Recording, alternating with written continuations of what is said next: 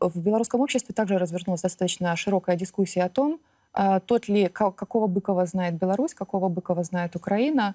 А, и я бы хотела, Алена, узнать ваше мнение по этому поводу.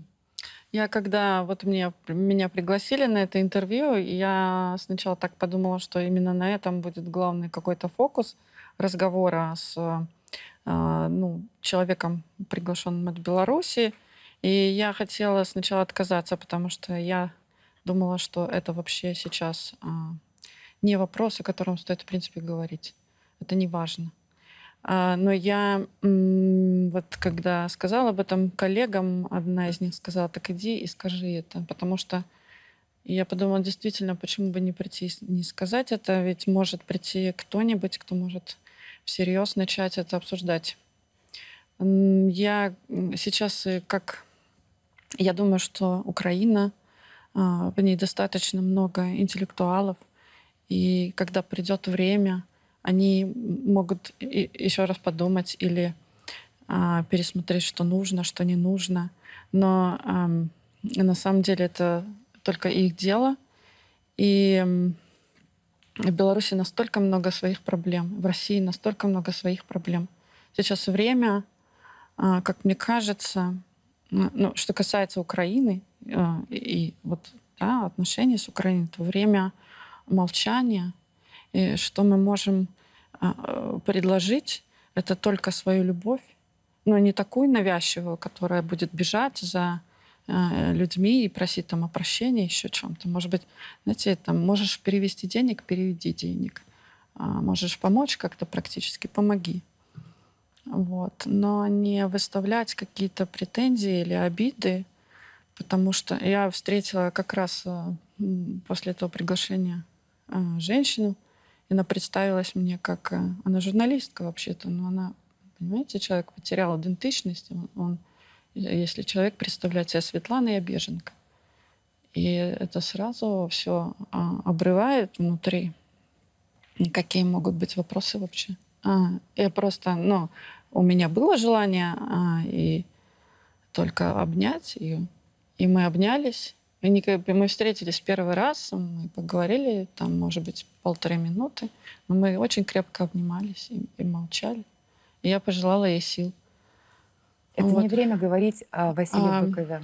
Э, время, понимаете, сейчас а, Украина в ситуации насилия, когда ворвались в самую твою суть, в, как вот тело, да, и когда человек, который подвергнулся насилию, он хочет остаться собой, а, осмыслить свое тело, где я нахожусь, где мои границы, которые были так проломлены. Меня никто не спросил, можно ли это сделать. И хочется ведь а, отторгнуть все лишнее, где я, найти себя. А, вот я, я бы еще... Это что касается а, отношений с Украиной, то есть только это, только любовь и помощь практическую. А, а что касается, я хотела бы прокомментировать вот э, предыдущий разговор о роли русского языка. И вот э, Дмитрий упомянул его роль как средство международного общения. А проблема с русским языком, вот даже в самой этой роли, а, в ней нет выбора.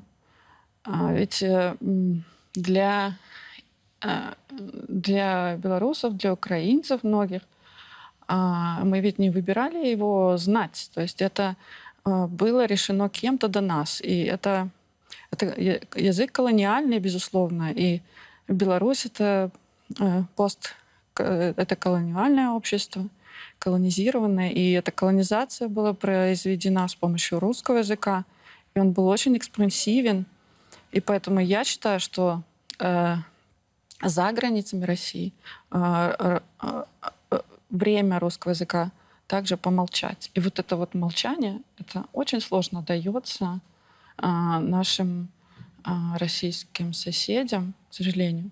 Некоторые это могут делать. И я очень ценю это, когда люди понимают, что молчание это трудно, это осмысление э, своей роли. А вообще умение слушать это такое редкое качество. А, послушать а, того, кому больно, и не спешить высказать свое мнение. А, роль русского языка сейчас — это она исключительно в России, я считаю. Это разговор со своими гражданами. Разговор, ведите на своем языке разговор о том, что сейчас происходит, пытайтесь осмыслить это. Но за границами а, России вот э, я ожидаю того, что интеллектуалы российские поймут, что а, время все-таки для размышлений и для молчания. И, на, и они найдут силы в себе помолчать.